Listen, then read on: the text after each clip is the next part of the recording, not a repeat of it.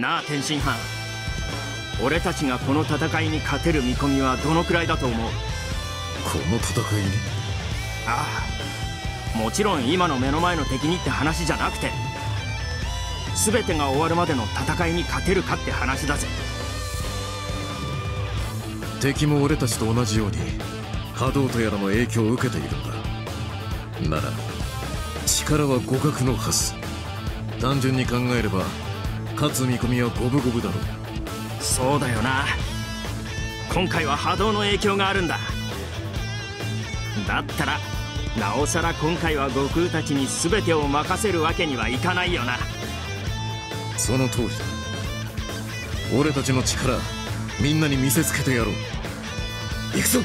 ああ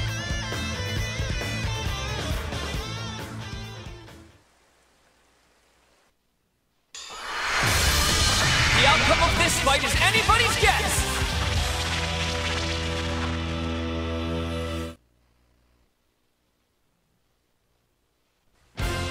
Get ready! Let's go! おめえの力見せてくれ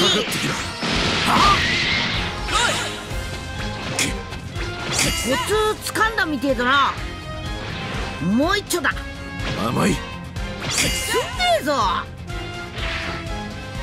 し次はこれだ。逃がさんぞせいドドンパ行くわよ。Counter!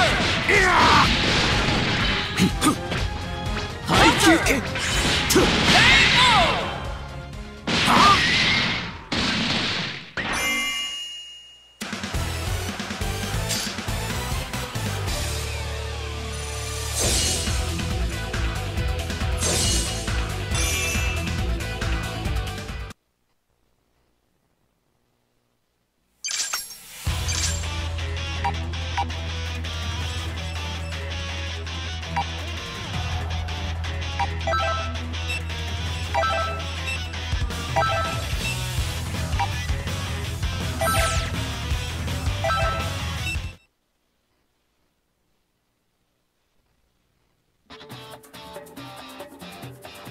なあクリリン。お前どうして頭を丸めたんだ？この方が気合が入るような気がしておかしいですか？おかしくはないけど懐かしいな。クリリンは昔からあまり変わっていないしその頭を見てると修行時代を思い出すぜ。ですよね。身が引き締まるっていうか俺も初心に帰った気分です。普通髪の毛が少ないと年を取って見えるもんだがなその年になって若く見えるなんて羨ましいぜ。だったらヤムチャさんも頭を丸めてみませんか？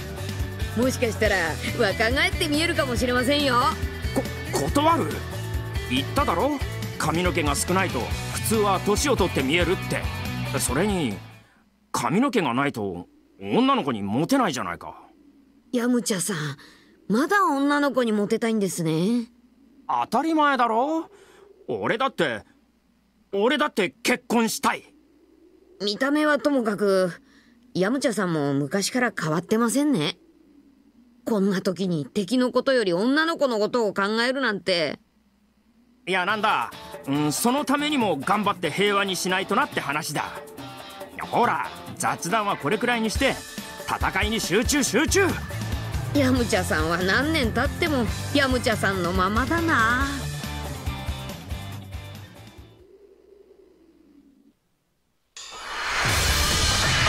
showdown is about to begin!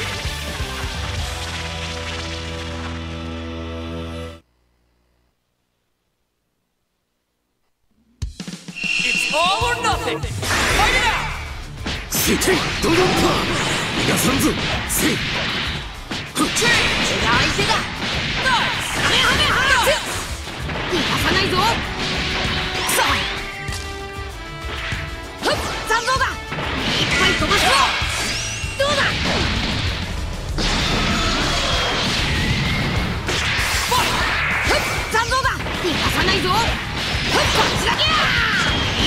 どう